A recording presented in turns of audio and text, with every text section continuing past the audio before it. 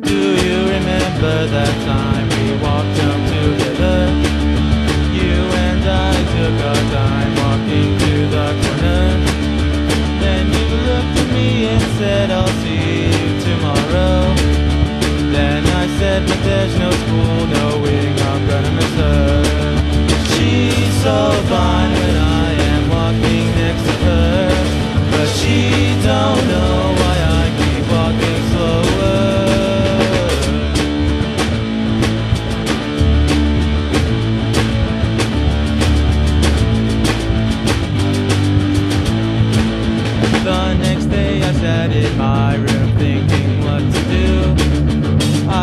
about yesterday